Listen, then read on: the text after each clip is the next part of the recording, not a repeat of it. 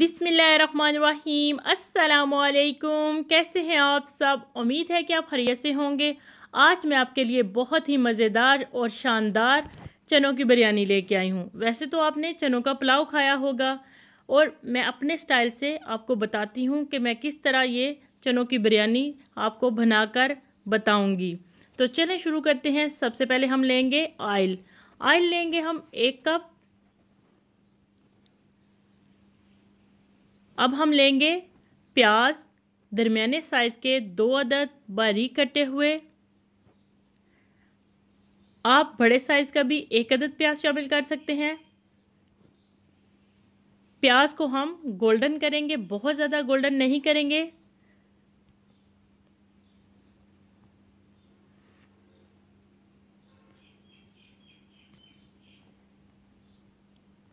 ये देखिए जी प्याज हमारे गोल्डन हो चुके हैं, बहुत ज़्यादा नहीं किए क्योंकि हमने बिरयानी बनानी है। पुलाव नहीं बनाना। इसमें एक एक खाने का चम्मच, लहसुन और अदरक पिसा हुआ शामिल करेंगे, हल्का सा फ्राई कर लेंगे दोनों को। अब इसमें बॉईल किए हुए चने शामिल करेंगे, दो कप चने लिए हैं मैंने, चनों को अच्छी तरह भून लेंगे।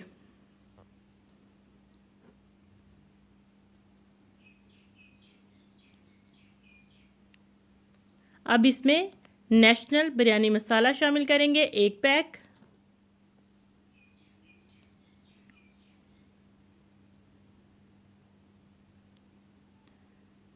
मिक्स करेंगे बिरयानी मसाले को।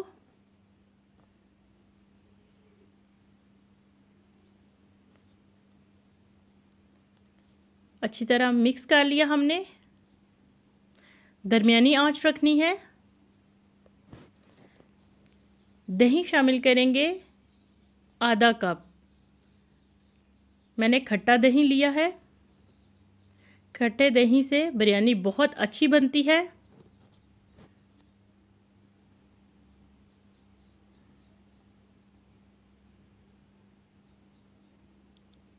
अब इसमें टमाटर शामिल करेंगे बारीक कटे हुए लंबाई की शेप में, दो अदद। इस तरह कटे हुए टमाटर बहुत अच्छे लगते हैं बिरयानी में।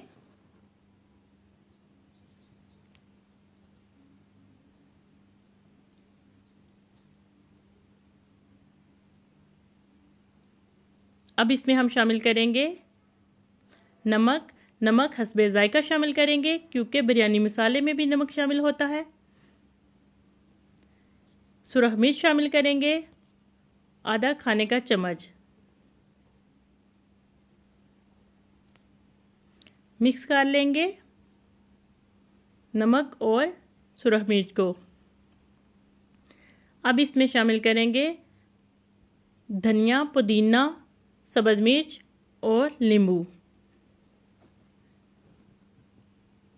बॉईल किए हुए चावल शामिल करेंगे।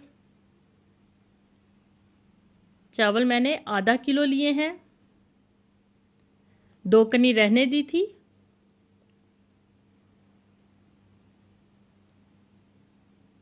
इस तरह फैला लेंगे चावलों को। पानी बिल्कुल शामिल नहीं किया मैंने, दही शामिल किया है। अब इस ज़रदा रंग फैला लेंगे थोड़ा सा पानी में मिक्स करके या दूध में। दम लगा लेंगे पंद्रह मिनट के लिए दरमियानी आँच पे। ये देखिए जी, चनों की बिरयानी तैयार है। आप भी बनाइएगा और बनाकर बताइएगा कमेंट करके कि कैसी बनी थी। प्लीज़ मेरे चैनल को लाइक करें, कमेंट करें और मेरे चैनल को सब्सक्राइब करें। दुआओं में याद रखिएगा। अल्लाह हाफिज़।